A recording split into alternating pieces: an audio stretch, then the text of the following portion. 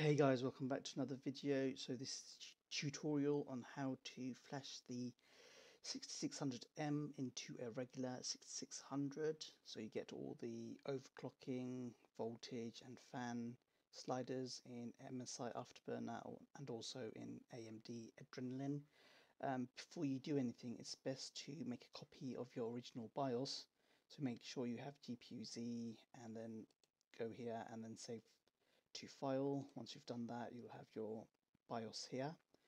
Next, what you want to do is go to my description and there'll be a link to download all the flashing um, tools um, and also the file for the flash.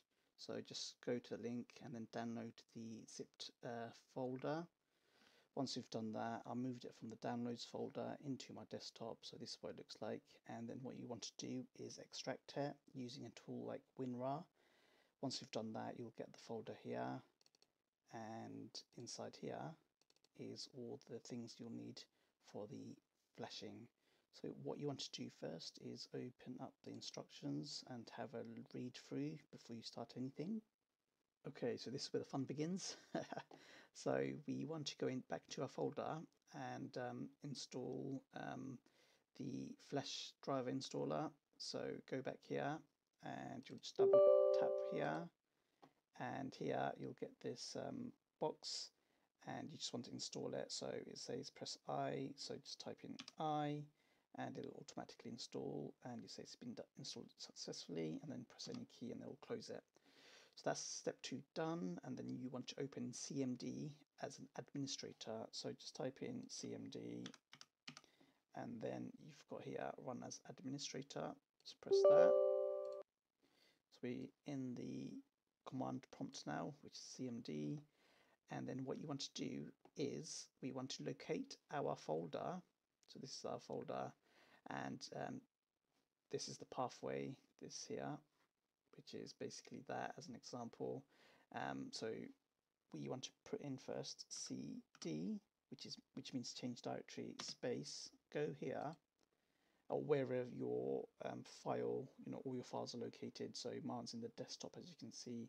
So just go to that folder and just copy it, copy and paste it. So copy and paste, and then paste that here.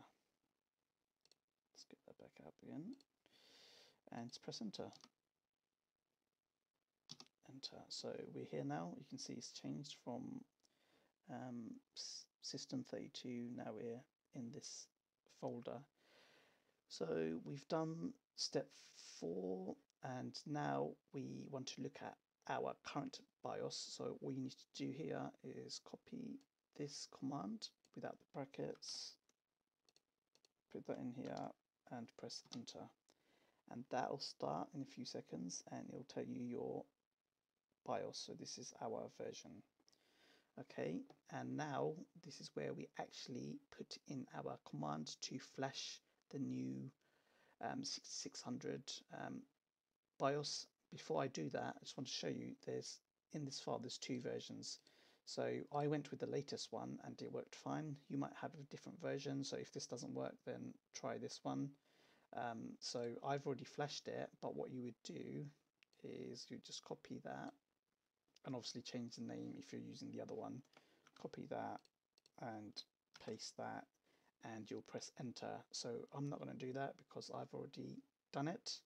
Um, and then what it says is you'll wait until it um, tells you to restart um, and it's ready. So once it's done restart it. I had a problem where it didn't do it straight away so I had to redo the command and it worked the second time. Um, so that's one thing just to note.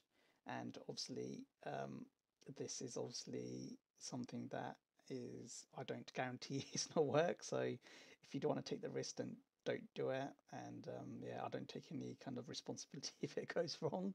So yeah, that's just a uh, precaution to to understand. Um, so once it's restarted, what we want to do is then um, open up um, more power tools and this is a configuration that we need to do um, because sometimes there's issues where it's not stable um, and we'll open more power tools oh give me this one anyway yes you'll find your your um, BIOS. So before it was 6600M, now it's a 6600. You'll open that. Let me just read this. Um, this is what is important enough. This step must be followed once drivers are installed and once PC has been restarted. So we've done that. We open more power tools. Once open, cl click the load button. So press load, and then you'll choose one of these files. So just experiment which one is the best one. Um, I think I went with the latest one again. Um, this doesn't um, overwrite physically um, and it doesn't hold it. So if you need to go back and change it to a different one, it's, it's possible. Um, but yeah, just play around with it and see which one is the most stable. So what you'll do is just press that, open that, and then you'll um, write to SPPT. And once it's done, just restart it. And after that, everything is all good to go. And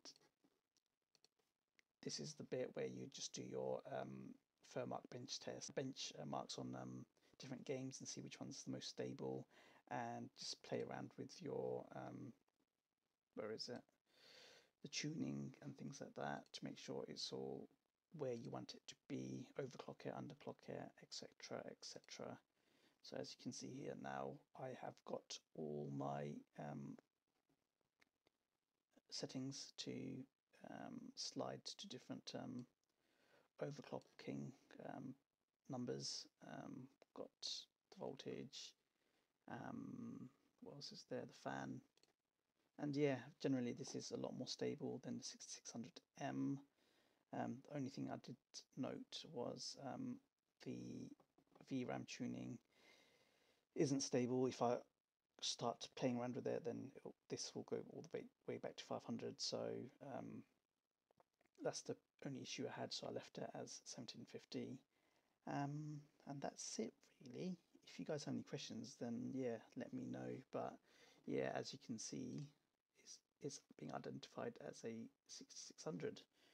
So yeah, that's it. If you have any questions, let me know. If you want to become a member to my channel, then you go ahead and do that to support me. But yeah, it's not needed. And yeah, good luck. I'll catch you guys on the next one. Peace.